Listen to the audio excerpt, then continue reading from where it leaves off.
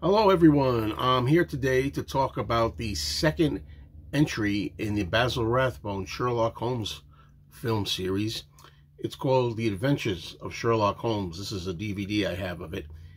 And a lot of people think this is the best of the 14 Rathbone Holmes films. This is very popular.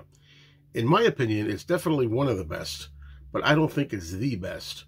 Um, the story here concerns Sherlock Holmes um, and uh, his arch nemesis rival, Professor Moriarty, here played by George Zucco, who a lot of people know George Zucco from the old Universal monster movies, you know, and he's a horror actor, and he's all in all kinds of films back in these days.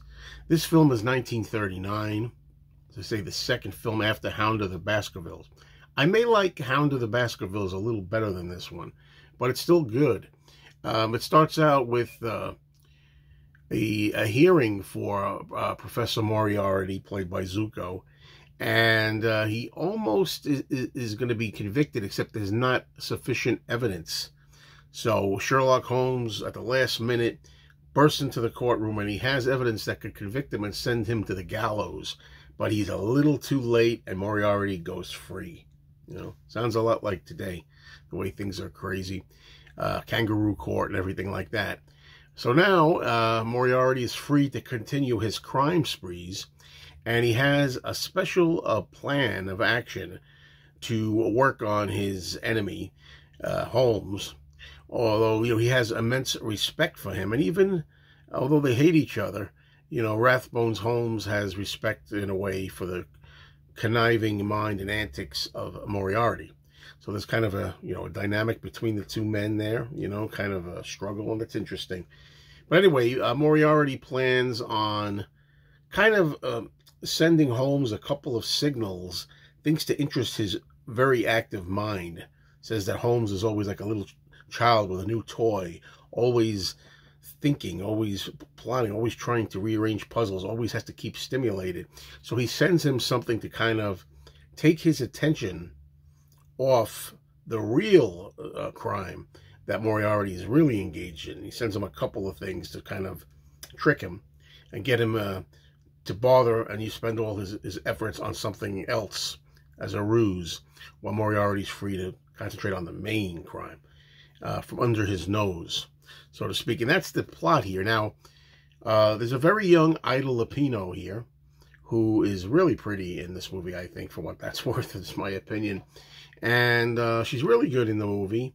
And of course, uh, she would go on and do other kinds of films, and she was a a, a, a big director.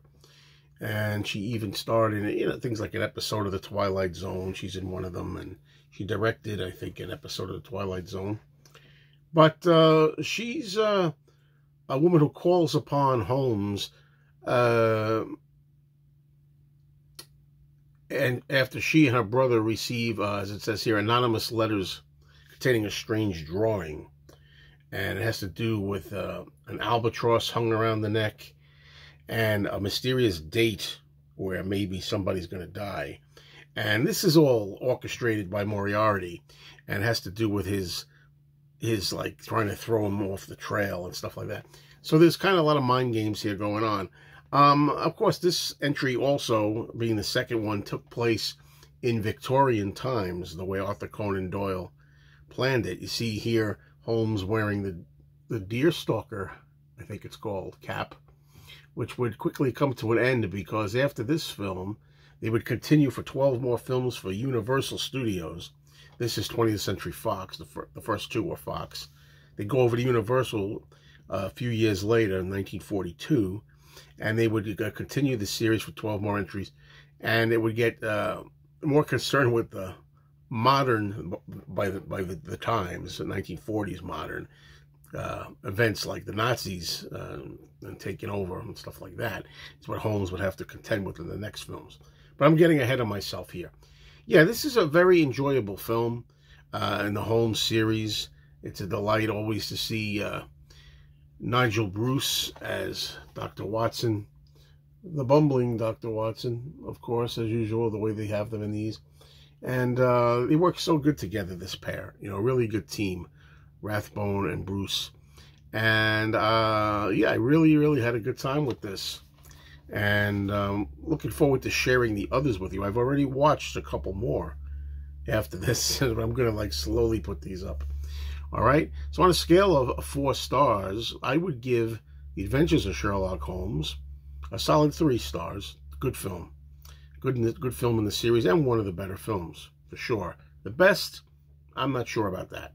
But I know a lot of people disagree with me. Check it out.